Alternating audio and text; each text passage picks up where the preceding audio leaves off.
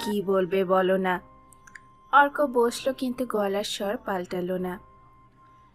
তোকে আমি আমার দাদুর কথা বলেছি, আমার বাবার কথা, তোর মায়ের কথা, এমনকি কি জন্যে আমি আমার নিজের ক্যারিয়ারের কথা না ভেবে আন্দোলনে নেমেছিলাম সেই সব। তোর মনে কি একটুও রেখাপাত করেনি? কেন? তুই আমাদের ছেলে, তোর পেছনে এই সব ঘটনা আছে এগুলো ভাবলেই মানুষ নিজেকে স্থির করে। কিন্তু কি বলবে বলো তো অনিমেষ ছেলের দিকে তাকালো। ওই কিলা খুরকিদের সঙ্গ তোকে ছাড়তে হবে, খোকা। কেন? তুই আবার প্রশ্ন করছিস, সত্যি কি তুই কিছু বুঝতে পারছিস না? তোর সঙ্গে যে ওদের কোনো মিল নেই, তাও অনুভব করিস না। অর্ক মাথা নাড়ল। তোমরা ওদের পছন্দ করো না বলে এসব বলছো? কেন পছন্দ করি না? ওরা বেশি পড়াশুনো করেনি, আড্ডা মারে তাই। মোটেই না, ওদের মধ্যে কোনো সুস্থ বোধ নেই। সেটা কি ওদের দোষ? কার দোষ তা বিচার করে তোর কি হবে? তুই পড়াশোনায় সুযোগ পাচ্ছিস, মন দিয়ে তাই কর। অর্ক ঠোঁটের কোন ভাঙল। তারপর অনিমেষ এই প্রশ্নটা আশা করেনি। সে ছেলের দিক থেকে দৃষ্টি সরিয়ে নিয়ে বলল, তারপর শিক্ষিত হয়ে যেটা ভালো লাগবে তাই করবি। তখন আমরা তোকে কিছু বলতে যাব না। এই বয়সে কতগুলো হুলিগানের সঙ্গে আড্ডা মেরে মারামারি করে নিজেকে নষ্ট করবি কেন? ওদের দেখতে পাস না। মদ খায় আর সিনেমার টিকিট ব্ল্যাক করে। আর একটু বয়স হলে কি হবে? মদ তো শিক্ষিত লোকেরাও খায়। খায় কিন্তু সবাই খায় না। যারা খায় তারা সেটাকে মানাতে পারে। তোর মতন বয়সে আমি এসব ভাবতেও পারতাম না। তুমি বস্তিতে থাকতে না, তাছাড়া তুমি শিক্ষিত হয়ে শেষ পর্যন্ত কি করেছ? কত বিয়ে এম এ বেকার বসে আছে। ওই তো প্রণবদা এম এ পাশ করে চাকরি পায়নি বলে রকে আড্ডা দেয়। ঠিকই আমরা চেষ্টা করেছিলাম এই ব্যবস্থাটাকে ভাঙতে। হাজার হাজার ছেলে আন্দোলনে নেমেছিল। পুলিশের গুলিকে তোয়াক্কা করেনি। আমাদের আফসোস যে আমরা পারলাম না, কিন্তু একটা সান্ত্বনা যে আমরা তো চেষ্টা করেছিলাম। তুই আমাদের সঙ্গে তাদের তুলনা করছিস। হঠাৎ উত্তেজিত হয়ে উঠল অনিমেষ। অর্ক মাথা নাড়ল। দূর শেষ পর্যন্ত তোমার সঙ্গে একটা বেকার লোকের কোনো পার্থক্য নেই। যে থার্ডের মধ্যে আসতে পারেনি, তার লাস্টের সঙ্গে কি তফাৎ? তুমি আর মা দিনরাত বলো আমি পড়ি, তাই পড়ি। না হলে আমার পড়তে একটুও ভালো লাগে না। ভালো লাগে না? না, অশোক কি করেছিল? রবীন্দ্রনাথের প্রার্থনা কবিতাটা মুখস্থ করে আমার কি হবে? তোর কি ভালো লাগে? জানি না। না জানি না বললে চলবে না। খোকা, তুই অন্তত বারোটা ক্লাস পাশ কর, তারপর যা ইচ্ছে তাই করবি। অনিমেষ অনুনয় করল। অর্ক প্রতিবাদ করতে গিয়ে শেষ পর্যন্ত মাথা নাড়ল। সেটা হ্যাঁ কি না বোঝা গেল না।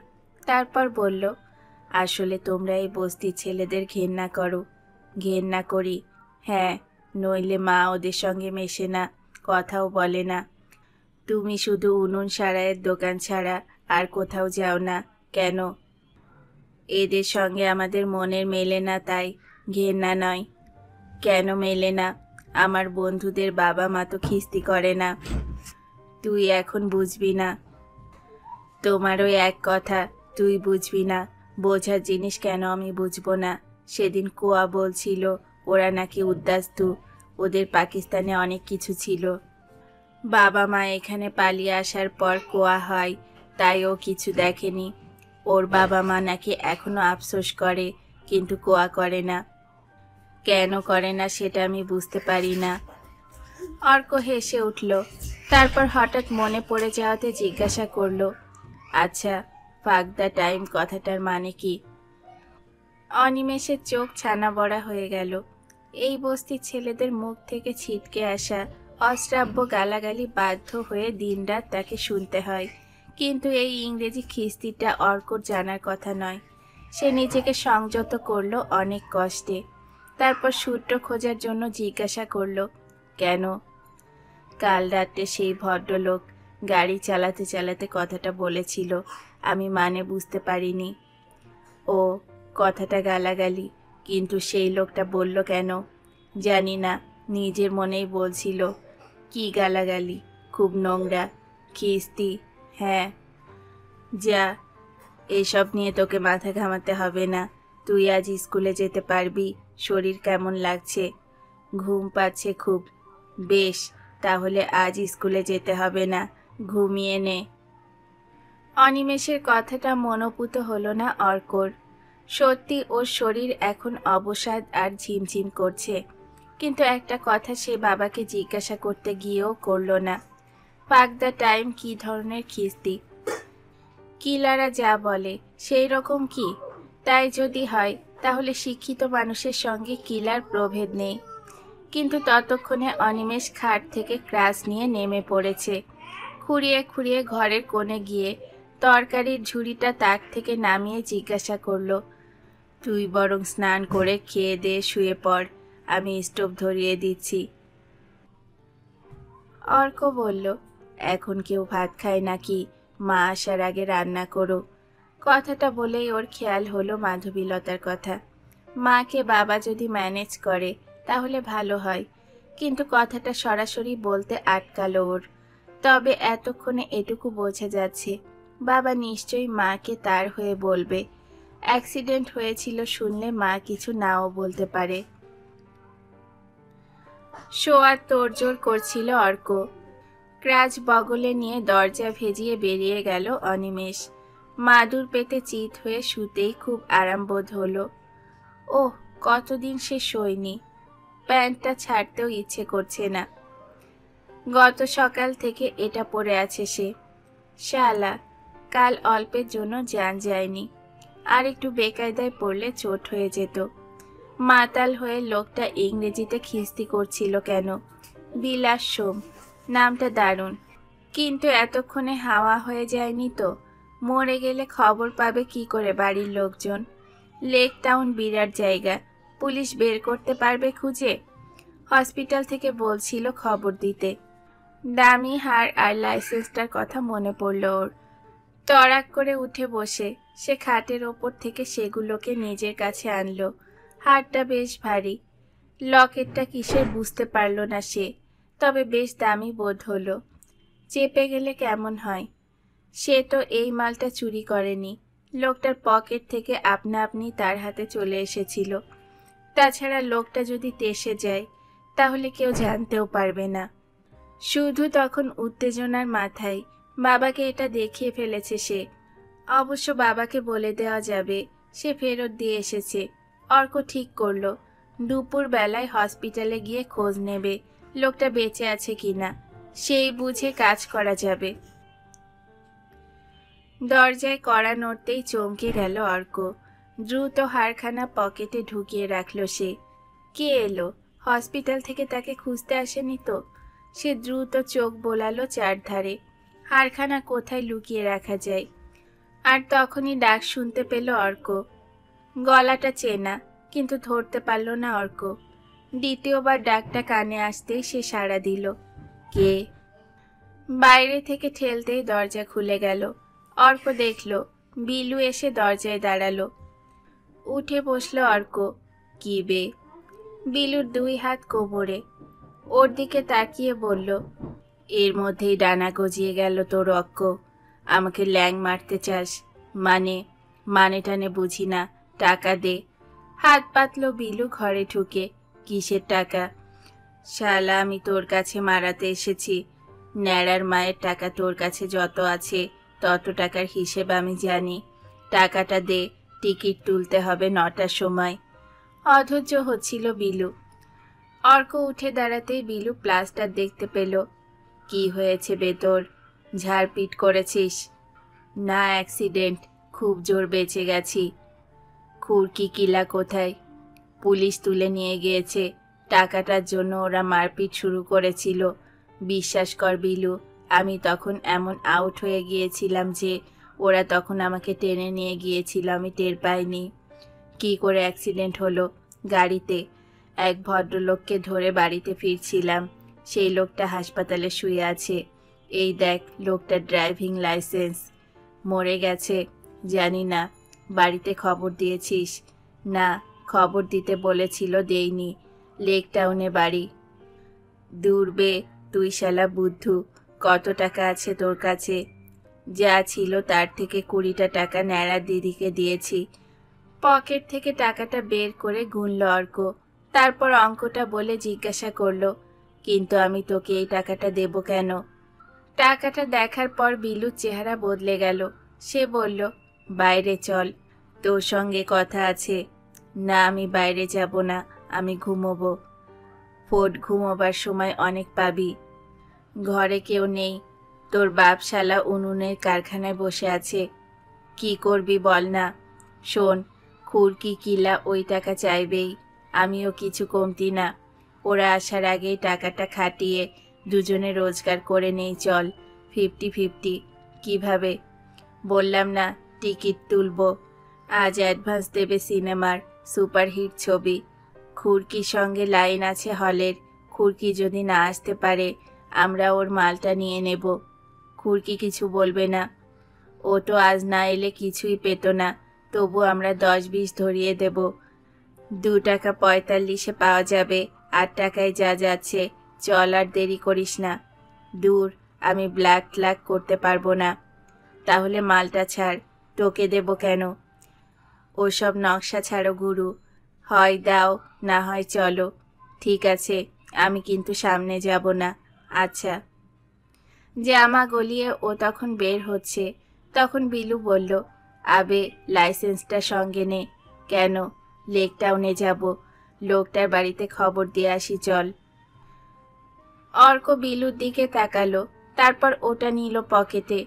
দরজা ভেজিয়ে উনুনের কারখানার সামনে দিয়ে যাওয়ার সময় অর্ক অনিমেষকে দেখতে পেল। ঘুমন্ত ছেলেকে উঠে আসতে দেখে অনিমেষের চোয়াল শক্ত হয়েছিল। যেতে যেতেই অর্ক বলল, লোকটা মরে যেতে পারে, তাই ওর বাড়িতে খবর দিতে যাচ্ছি। বাবার প্রতিক্রিয়া দেখার জন্য ও মুখ ফেরালো না। ঈশ্বর পুকুর লেনে পা দিয়ে সে গম্ভীর গলায় বলল দি টাইম বিলু অবাক গলায় জিজ্ঞেস করল, কি বলছিস বে? অর্ক হাসলো, তুই বুঝবি না, এটা ইংরেজি কিস্তি। বেলগাছিয়া থেকে সেকেন্ড ক্লাস ট্রামে চেপে ওরা হাতিবাগানে চলে এলো। এতক্ষণে অর্কর শরীর ম্যাজ ম্যাচ করছে, দু চোখ ভারী। ও মনে মনে বিলুর ওপর ভীষণ চটে যাচ্ছিল। হাতিবাগানে নেমে বিলু বলল, ওস্তাদ পেটে একটু চা ঢেলে নেই, চল। প্রথম প্রথম এই ওস্তাদ কিংবা গুরু সম্বোধনে অস্বস্তি হতো অর্কর। পরে বুঝেছে ওগুলো কথার কথা মাত্র, কোনো মানে না করেই বলা হয়। দুই অক্ষরে যে শব্দটি পুরুষাঙ্গের পরিচয়, তা ওরা ব্যবহার করে অসারে। কোনো মানে হয় না, কিন্তু কথা বলার সময় ওই ব্যবহার বেশ জোর আনে। কথাটা কখনো ব্যবহার করতে পারেনি অর্ক। জিভে যেন আটকে যায়। ও বিলুর দিকে তাকালো। ওদের দলটাই বিলুকে সবচেয়ে বুদ্ধিমান বলে মনে হয়। চট করে রাগে না, কিন্তু কাজ গোছাতে পারে।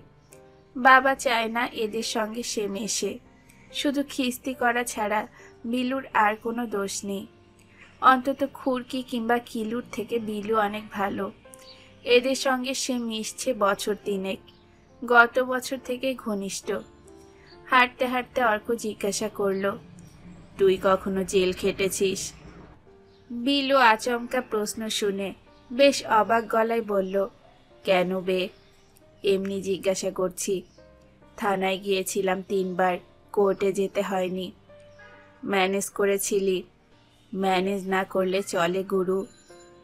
বাদিকে একটা গলির মুখে ভাড়ের চায়ের দোকান তার বেঞ্চিতে বসল ওরা। চায়ে চুমুক দিয়ে ভালো লাগল অর্কর। ও হঠাৎ জিজ্ঞাসা করল, তোর দেশ কোথায় ছিল বে? পাকিস্তান। দূর বে, বাংলাদেশ বল। বাবা বলে পাকিস্তান, ওসব দিয়ে কি দরকার? না, জিজ্ঞাসা করছি, তুই দেখেছিস? ফোট, আমি শালা এখানে পয়দা হয়েছি, তবে বাবা হেভি গুল মারে, এই ছিল, তাই ছিল। জন্মাবার পর কোনোদিন খাটে ঘি এর লুচি খায়নি। কথাটা অর্কর মনে লাগল। সে কি নিজেও কখনো খেয়েছে? নিচু গলায় বলল, আমাদের দেশ মায়েরি পাকিস্তানে ছিল না, কিন্তু আমিও খাইনি। একদিন খেলে হয়। চায়ের দাম মিটিয়ে দিল অর্ক। এখন শরীর একটু ভালো লাগছে। সিনেমা হলটার সামনে এসে ওর চক্ষু স্থির হয়ে গেল। বিরাট ভিড়। এখন সবে নটা বাজে বোধ হয় কিন্তু কামসে কাম হাজার খানেক লোক জটলা পাকাচ্ছে। মেয়েদের লাইনটা একেবারে চলে গেছে অনেক দূর। ছবিটার কথা অর্ক শুনেছে অনেক দিন, কিন্তু অভ্যেস নেই বলে দেখতে আসার ইচ্ছে হয়নি। হলের কোলাপসিবল দরজা বন্ধ, ছেলেদের লাইনে জোর মারপিট শুরু হয়েছে। পাঁচ ছয়টা ছেলে লাইন ম্যানেজ করছে। ওদের সামনে একটা ছেলেকে বেধড়ক পেটালো ওরা। জামা ছিঁড়ে ছেলেটা লাইন ছেড়ে চলে গেল। হঠাৎ মেয়েদের লাইনে চিৎকার শুরু হলো। অর্ক দেখল, একটা রোগা মতো মেয়ে একজন মহিলার চুলের মুঠি চেপে ধরে টানছে।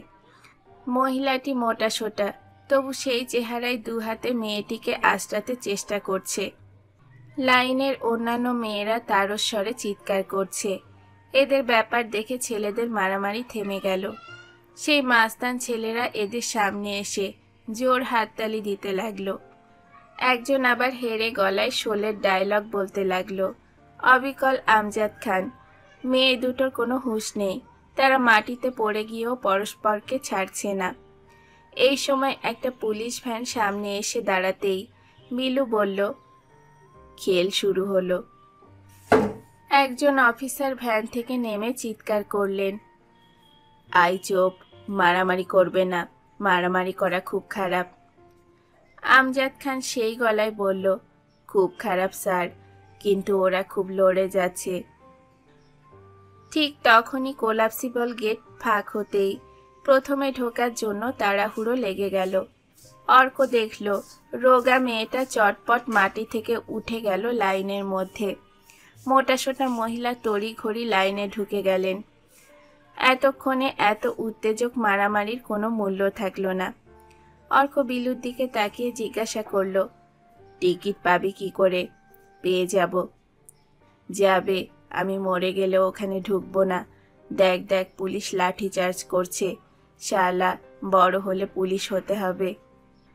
তুই হতে পারবি, তোর ফিগার আছে। দু হাত ভরে দুই নম্বর টাকা লুটবি।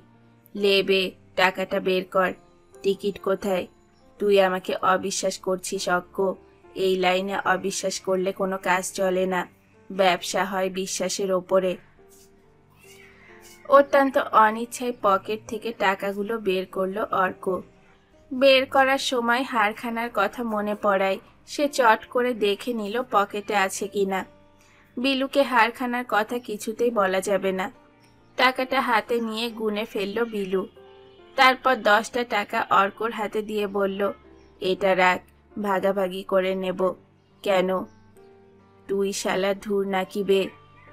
টিকিটগুলো ক্যাশ না করা পর্যন্ত হাওয়া খাব নাকি? অক্ক, আজ থেকে আমরা হলাম পার্টনার, মনে রাখিস।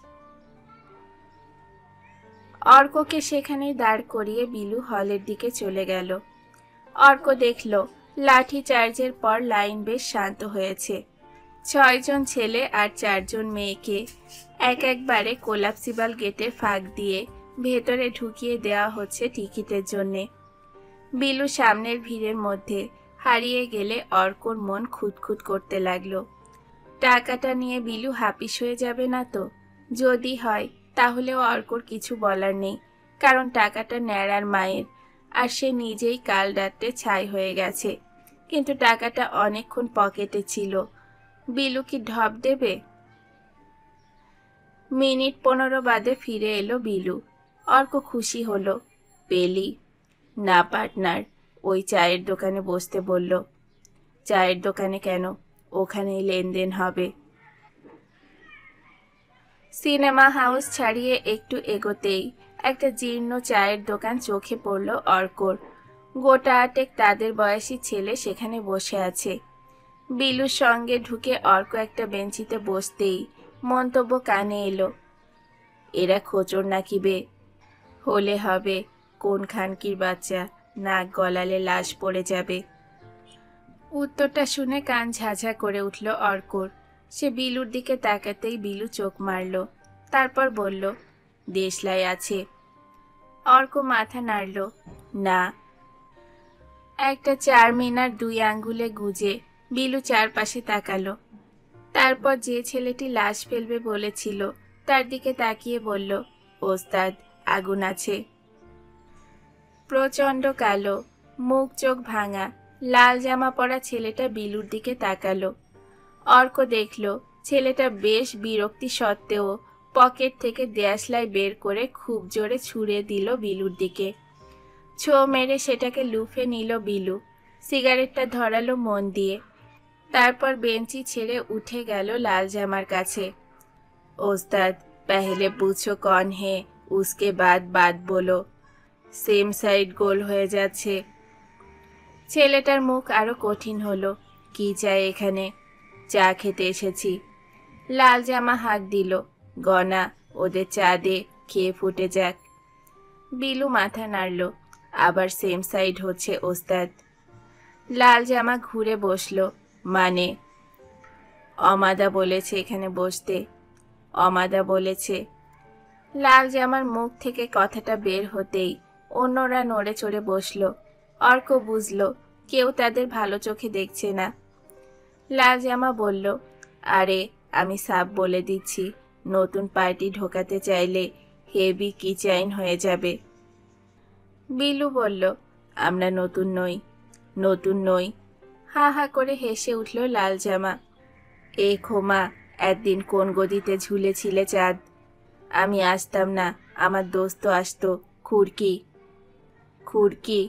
অর্ক লক্ষ্য করল ছেলেটার মুখে চেহারা পাল্টে গেল আচমকা। সে বিলুর মুখের দিকে চোখ ছোট ছোট করে দেখতে লাগল। বিলু হাসলো, কোমা, দেখে না ওস্তাদ। অনেক খেলেছ এতক্ষণ। খুরকি আমাদের পাঠিয়েছে ওর মাল নিয়ে যেতে। আপত্তি আছে? লাল জামা বলল, খুরকি কোথায়? শরীর খারাপ। ওকে মানাদা ডেকেছে। ও শালা মানাদাকেও টপকেছে। মানাদাই এই হলের সঙ্গে প্রথম বন্দোবস্ত করেছিল। আমরা এখনও মানাদাকে হিস্সা দেই। বিলু বলল, বলব, কিন্তু আর কি সেম সাইড হবে? ঠিক আছে, কিন্তু দশটার বেশি টিকিট। এক কুড়ি, আমাদের সঙ্গে বাতচিত হয়ে গেছে। যে যার করে খাও গুরু। বিলু ফিরে এলো অর্কর পাশে। অর্ক বিলুকে এতক্ষণ অবাক হয়ে দেখছিল। রোগা খোয়াটে চেহারা নিয়ে বিলু কি রোয়াবে কথা বলে গেল এতক্ষণ। সে কি নিজে এরকম পারত? ও দেখল, সবাই এবার তার দিকে তাকাচ্ছে। ঠোঁট বেঁকিয়ে কিলার ভঙ্গিতে অর্ক চেঁচালো, কি বে, চা কি বাগানে পয়দা হচ্ছে এখনও? গলার স্বর এবং ভঙ্গি অনেকটাই কিলার মতো মনে হলো অর্কর। ওপাশ থেকে সাড়া এলো, দিচ্ছি। হঠাৎ বাইরে দূর দূর করে মানুষজন ছুটতে লাগল। ওরা দোকানে বসেই দেখল, পুলিশ লাঠি উঁচিয়ে তাড়া করছে। লাল জামার কাছে একজন এসে বলল, টিকিট নেই বলে কাউন্টার বন্ধ করে দিয়েছে বলে পাবলিক রং নিচ্ছে। অর্ক চা খেতে খেতে অনুভব করল, ওর শরীরে সেই ম্যাজ ম্যাজানি ভাবটা আর নেই, এমনকি ঘুমও পাচ্ছে না। ঠিক তখনই আবে আমাদের এসে গেছে এসো ওস্তাদ ইত্যাদি হাক ডাকে ভরে গেল দোকান। অর্ক দেখল, একটি আধবুড়ো লোক চায়ের দোকানে ঢুকে। সন্তস্ত ভঙ্গিতে চারিদিকে তাকিয়ে নিয়ে বলল, বাইরে পুলিশ পেদাচ্ছে। লাল জামা বলল, যুগ যুগ জিও গুরু, যত পেদাবে তত লাভ।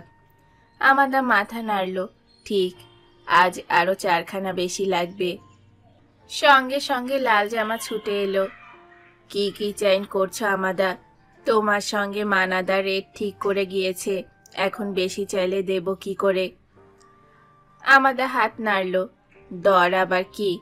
রোজ রোজ যেমন কমছে, বাড়ছে, তেমনই চলবে।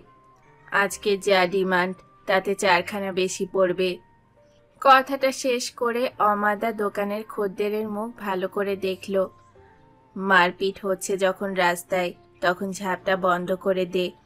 বাইরের কেউ এখানে নেই তো। লাল জামা মাথা নাড়ল। না, কিন্তু তুমি খুরকিকে মাল দিচ্ছ কেন? অমাদা বলল, কে খুরকি? বেলগাছি আর খুরকি? ওরে বাবা, ওকে না দিলে উপায় আছে। খুরকি যেন কাদের পাঠিয়েছে এখানে? অমাদা একটা বেঞ্চিতে বসতেই কয়েকজন সরে গিয়ে তাকে জায়গা করে দিল। বিলু হাত তুলল। তাকে দেখে নিয়ে অমাদা টিকিট বিতরণ শুরু করল। অর্ক দেখল, গোজ গাছ টিকিট হাত বদল হয়ে যাচ্ছে। সাধারণত নিচু আর মাঝারি শ্রেণির টিকিট অমাদা এনেছে, তবে চার আনা বেশি দিতে হচ্ছে বলে অনেকে যত টিকিট নেবে ভেবেছিল, তত টিকিট নিতে পারছে না। বিলু বেশ কিছু টিকিট ম্যানেজ করে অর্ধেক অর্ককে দিল, এগুলো শুক্রবার পর্যন্ত তোর কাছে রেখে দে কেউ যেন টের না পায়। তোর কাছে রেখে দে না। না বে, বাইরে বের হলেই খোঁচর ধরতে পারে। একজনকে ধরলে আর একজনের মাল বেঁচে যাবে। চোখের সামনে দোকানটা সাফ হয়ে গেল। যে যার টিকিট নিয়ে এক এক করে বেরিয়ে পড়েছে। অমাদা টাকাগুলো থলিতে পুরে বিড়ি ধরালো। একটা ডাবল হাফ দাও। বিলু অর্ককে ইশারা করে বেরিয়ে পড়ল। কর্নওয়ালিস স্ট্রিট এতক্ষণে স্বাভাবিক হয়ে গেছে। হাঁটতে হাঁটতে বিলু বলল, এ হপ্তার খরচটা ম্যানেজ হয়ে গেল অক্ক। কি করে বিক্রি করবি? শো শুরু হবার পনেরো মিনিট আগে আসব। ততক্ষণে অন্য শালাদের টিকিট শেষ হয়ে যাবে। চারখানা নাফা রাখব, দেখিস। পুলিশ যদি ধরে, আমার ওপর ভরসা কর ওস্তাদ। তোকে তো বলেছি, আমি এখনও শ্বশুর বাড়ি যাইনি। চল শর্টকাট করি।